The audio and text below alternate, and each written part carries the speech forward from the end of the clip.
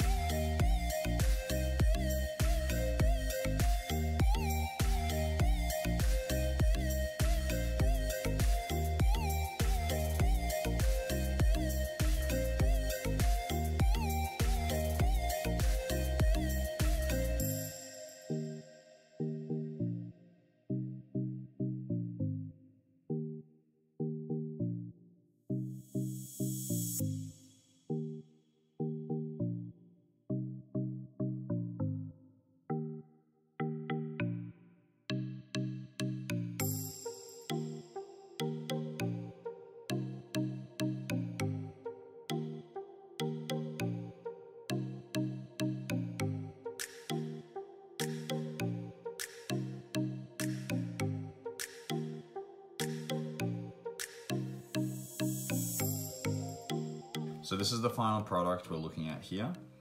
So I just plugged these numbers in from the handouts that were provided. So 900, 961, 1000, these are all in millions. So the E here means expected, uh, these are actuals. Now, this is how I calculated these numbers here. So if I go there, we have 961 on 900 minus one, that gives us the growth percentage. Same thing here. If you guys are interested how to get this dash, uh, what you do is you go into more number formats, custom, and format out the, um, the format code like this. So this basically means that if it's negative, it would return, oops, it would return a red number in brackets. And this is what happens when it is zero. So we've just got the dash there.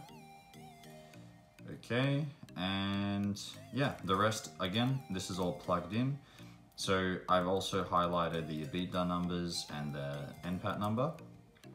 And these here have been calculated. Margin is just the EBITDA over the revenue for each thing.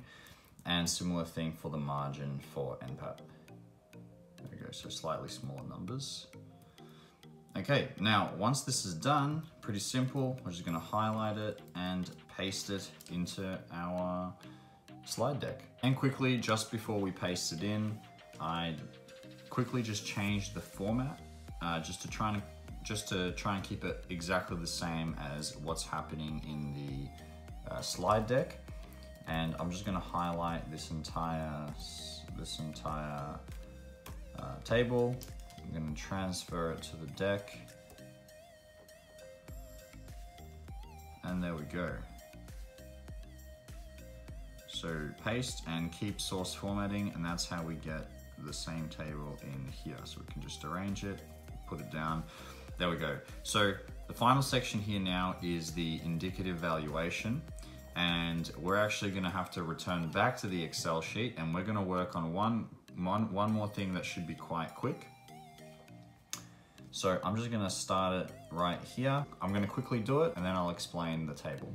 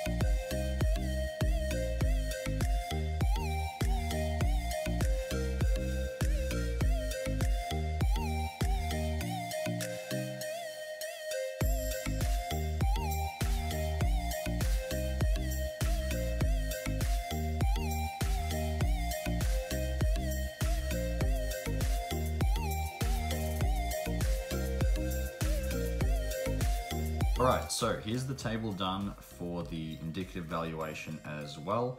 Where the numbers have come from, once again, uh, this just EBITDA number is from the financials. Now this growth number is the only one that I think might be a little confusing. It's actually from the very first uh, notes of the call, so which says that uh, the company has grown 20% uh, from the previous period. And these are the EBITDA multiples that uh, have been provided. Also, I think in, actually for this task now, and then we just simply multiply um, 300,000 by those multi 300 by those multiples to get the 3 to 3.5 billion valuation. So this is roughly roughly how much they're saying the business will be worth. So I'm going to do a similar thing. Uh, just copy this table into the deck. Now, also notice that I just quickly changed before uh, the formatting of the of the other deck of uh, sorry of the other table. Here we, we just I just changed the margins to also be italicized and I just added some lines to make it look a bit a bit nicer. Okay, so I'm gonna paste this into the deck and we're almost done with this task now. So back into our slide and I'm just going to paste, then keep source formatting and there we are.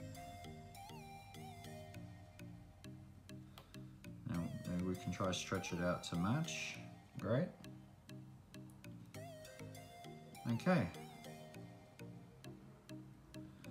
Excellent. So that's that basically finished. Okay, so these are the numbers that we would aim to present. Actually, let me just try edit this really quickly. If we chuck it onto this side, there we go, that looks better. So there we go. These are the numbers that I'll be pretty happy to present. This is this is what the JP Morgan is really looking for. I was really tempted doing this task to simply regurgitate the information that was already provided, but this is a much more structured approach and this is really what you're going to be looking for when you're delivering something to your supervisor and then also to your clients. Very simple, very clear cut, and it highlights all the important information. So for the second part of task two, we are working on the process letter summary, which is just another slide in the slide deck. So here we get all of the information that we require from this document, which is the M&A miscellaneous sell doc. So it kind of it basically outlines the entire process. And what we're doing is, again, we're just really kind of summarizing the info.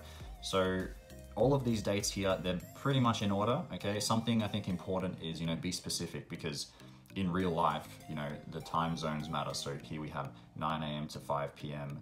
Uh, on from April 9th to, uh, uh, this one is actually April 13th. There we go, April 13th um, I believe, uh, Hong Kong time. So that's really important. Okay, check check that April 13th if that's actually correct.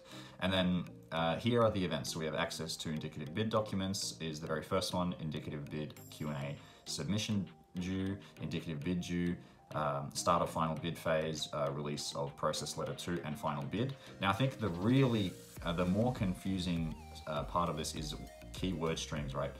So these are essentially, you know, in a word, basically definitions of what each uh, thing means in round one and round two. So we have evaluation. Um, I just said initial valuation analysis based on indicative bid documents. Again, this is all the information you can find in the document that is provided. Uh, just make sure you read it very carefully and search for these keywords. Then we have structure and financing, so begin financing discussion. Uh, then we have approvals, collect and confirm required approvals. For round two, you basically go through uh, similar similar word streams. So site visit and management presentation is really the only new one. So we need to organize site visit uh, and organize the presentation. Then due diligence, conduct due diligence based on new information collected, organize Q&A submissions, valuation, here we're finalizing valuation based on financial forecasts, so not just the indicative bid. Then financing, confirm sources of financing, and once again, the approvals were just you know, commence preparing uh, applications for different regulatory approvals.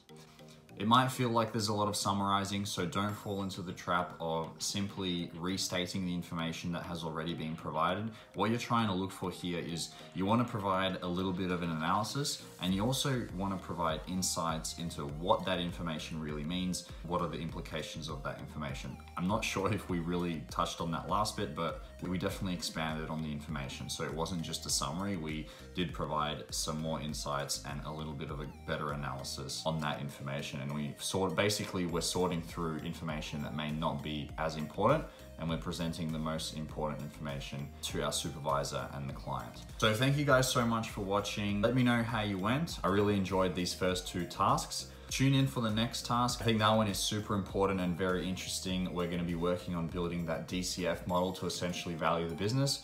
Uh, it'll be interesting to see uh, if the multiples are correct. If you enjoyed the video, please drop a like and subscribe. We're on our way to 10,000 subscribers. The goal is to get it by the end of the year. Yeah, stay tuned for the next video. I'll see you next time.